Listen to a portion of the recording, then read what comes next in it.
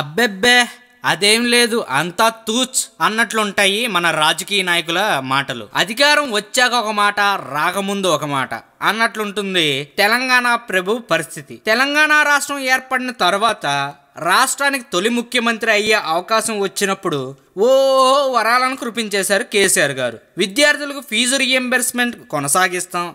అందరికీ free free అన్నారు. ఇప్పుడు గద్దెనెక్కాక కండిషన్స్ అప్లై అంటున్నారు. విద్యార్థుల ఫీజు రీంబర్స్మెంట్ బకాయిలను ఒకేసారి చెల్లించడం సాధ్యం కాదు. అది నిరంతర ప్రక్రియ. గత ప్రభుత్వం తరహాలో దశల వారీగానే చెల్లింపులు చేస్తాం. కాంగ్రెస్ ప్రభుత్వం అనుసరించిన విధానాన్నే మేము అమలు చేస్తున్నాం. ఈ పథకంలో ఎలాంటి మార్పులు చేయలేదు అని మన ముఖ్యమంత్రి వర్యులు కేసీఆర్ స్పష్టం చేసేశారు. ఫీజుల పథకాన్ని యథాతథంగా అమలు చేస్తామన్నారు. ఫీజు రియంబర్స్మెంట్ పథకం విద్యార్థులకు ఉపకార వేతనాలు అంశంపై బుధవారం శాసనసభలో జరిగిన లఘు చర్చ సందర్భంగా సీఎం కేసీఆర్ మాట్లాడారు. మా ప్రభుత్వం అధికారం చేపట్టే నాటికి పద్దెనిమిది వందల కోట్ల రూపాయల ఫీజు బకాయిలు ఉన్నాయి.